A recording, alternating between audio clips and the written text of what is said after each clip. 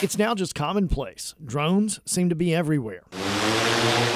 And as big companies are figuring out how to use them to make deliveries, the common criminal is way ahead of them. This is a very potentially deadly problem that they have. It's against the law to do it, but drones are delivering everything from weapons to drugs to cigarettes inside the prison fence at lockups across North Carolina. The prisons just need to know that someone's out there. To fight the problem, who better to do the job than Missy Cummings, one of the Navy's first female fighter pilots?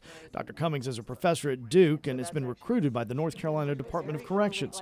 She's developed a detection system that alerts the prison of incoming drones. So it listens for drones flying nearby. And so we've spent the last couple of years developing some artificial intelligence uh, that learns how to listen for certain kinds of drones and can ignore other um, aircraft in the sky. At her side is landscape architect Dr. Alan Assar. Anything we have, we are going to install on the prison campus has to be camouflaged enough not to stick out in the landscape, not to be visible. So, how do you do that? A giant bird's nest, blending sticks and branches with solar power, plus an acoustic detection system.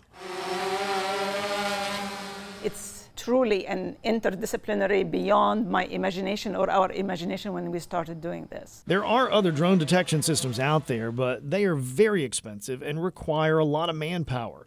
This, though, is only a few hundred dollars a piece. You need around five of them at each prison, and for a cash strapped prison system, cost does matter.